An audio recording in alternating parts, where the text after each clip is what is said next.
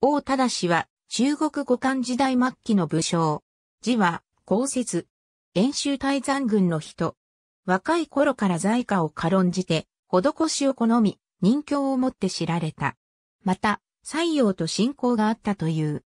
はじめは何進むに、大将軍浮上として使え、助州に赴任して、軍需物資の補給などの広報担当役を務めていた。中平6年、何進むが宦官によって殺害されたため、職を辞して郷里に戻り、平民となった。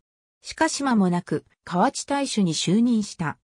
三国志、常林伝によれば、王忠氏は、河内軍に属する県の官民の在家を探り、疑わしい者を逮捕して取り調べ、在家があれば金や穀物を要求し、すぐに金や穀物を出さない者は一族ごと処刑し、威厳を高めた。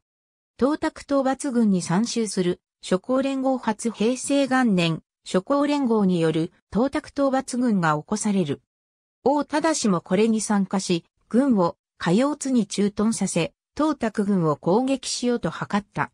しかし、東卓軍の巧みな攻撃を受け王忠氏軍は大敗し、ほぼ全滅の損害を被った。大山へ逃げ帰った王忠氏は再び軍を集め、陳竜の長幕と合流しようと図った。その頃、東卓から和睦の使者として、大忠氏の娘婿にあたる周金吾の古武藩が河内にやってきた。しかし大忠氏は、諸侯連合の指導者である炎章の命を受けて、これをやむなく殺害した。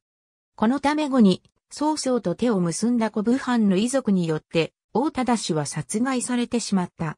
ただし、その正確な時期は不明である。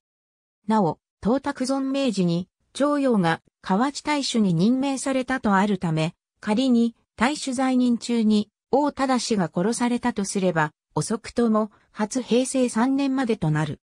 王忠氏には、後に曹操配下として文武にわたり活躍する、藩広氏が従事として仕えており、東卓討伐戦以降、有名を高めた。小説、三国志演義でも、東卓討伐の諸侯連合に河内大主第五鎮として加わっている。古老関の戦いで先鋒を務めるが、配下の武将片逸を呂布に一瞬で討ち取られ、慌てて逃走している。その後は登場しない。ありがとうございます。